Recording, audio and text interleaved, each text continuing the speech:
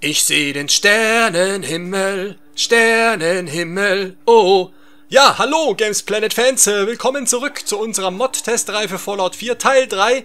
In der vergangenen Episode haben wir ähm, die Nacht dunkler gemacht und jetzt ähm, möchte ich ein bisschen den Sternenhimmel verändern und äh, den Mond mit einer neuen Mod. Ihr seht hier die Urfassung, so sieht's normalerweise aus.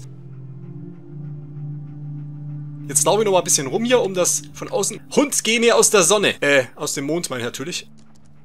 Manchmal nerven die wirklich die Begleiter. Also, so sieht das ähm, in der Urfassung aus, in der Vanilla-Fassung, wie das immer so schön heißt.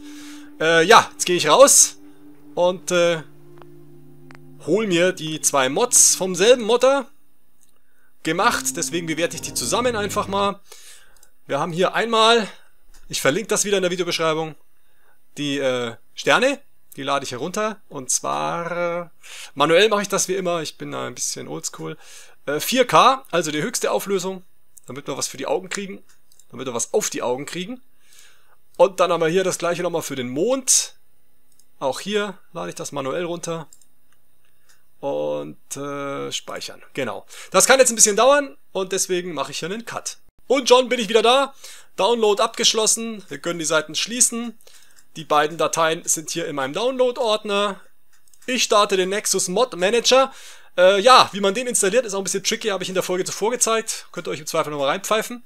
Und äh, ja, wir holen uns jetzt das äh, erstmal rein.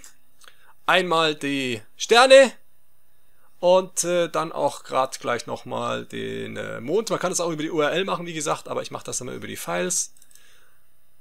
So, die sind im Bereich Unassigned. Ich weiß nicht, ob das äh, Programm auch in der Lage ist, die selbstständig einzuordnen. Äh, bei mir geht das nicht. Wer es weiß, wie es geht, möge es in die Kommentare schreiben, dann lerne ich auch noch was dazu. Man kann die aber per Hand verschieben und zwar sind die äh, im Bereich Models und Textures am besten aufgehoben.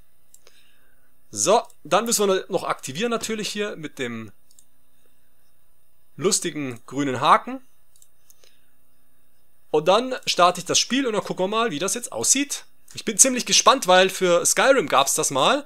Und ich muss sagen, da war das richtig geil. Ja, also bei Skyrim hat dieser Sternenhimmel richtig cool ausgesehen. Mal schauen, was das jetzt hier kann. Wir laden den Spielstand und äh, machen wieder einen Cut, weil es wahrscheinlich wieder ein bisschen dauert. Jawohl, jetzt kommt er. Da ist er. Da ist er, der neue Sternenhimmel. Und äh, was fällt auf? Äh, mir fällt auf, dass der Mond ein bisschen strukturierter aussieht. Ich bilde mir auch ein, dass da ein bisschen was äh, Sternschnuppenmäßiges rumfliegt. Äh, ob das vorher der Fall war, weiß ich nicht. Ähm, oh, ah ja.